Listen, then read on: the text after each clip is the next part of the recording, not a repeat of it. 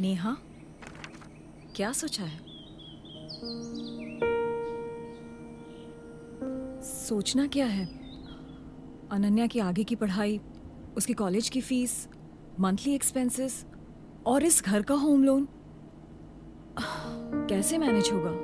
अगले पंद्रह सालों में तुम इतनी सक्सेसफुल हो जाओगी कि अनन्या की पढ़ाई ही नहीं, उसकी शादी का खर्चा भी आराम से मैनेज हो जाएगा। लेकिन वो छोड़ो। अगले चार पाँच सालों में तुम्हारा खर्चा कितना बढ़ेगा? दस परसेंट? पंद्रह परसेंट? हाँ हाँ। लगभग पंद्रह परसेंट ही। तो अपना होम लोन ईएमआई लगभग पंद्रह परसेंट से कम कर लो ना। मतलब? मतलब बड़ा सोचो।